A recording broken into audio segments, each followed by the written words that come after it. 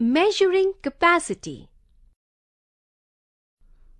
Children, in our everyday life, we measure the quantities of various liquids such as petrol, oil, milk, etc.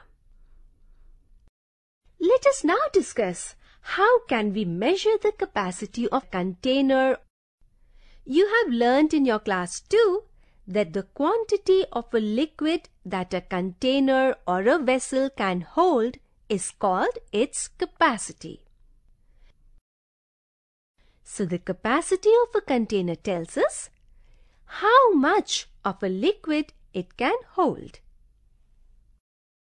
The standard unit of capacity is liter.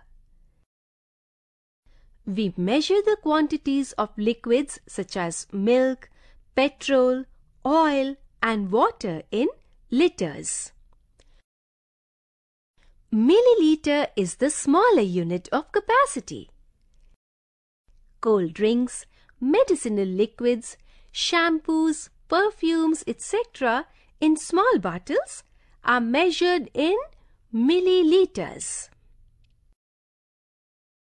Liquids like oil and petrol are measured with the help of a standard sized vessel shown here.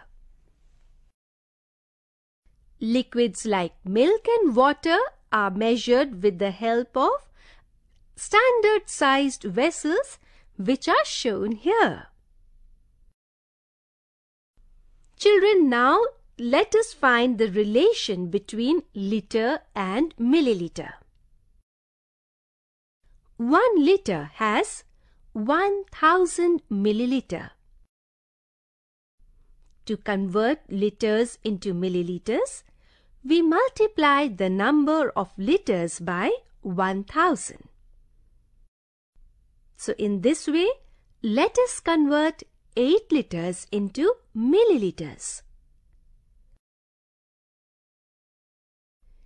To convert liters and milliliters into milliliters, we multiply the liter by 1000 and add the milliliters to the product.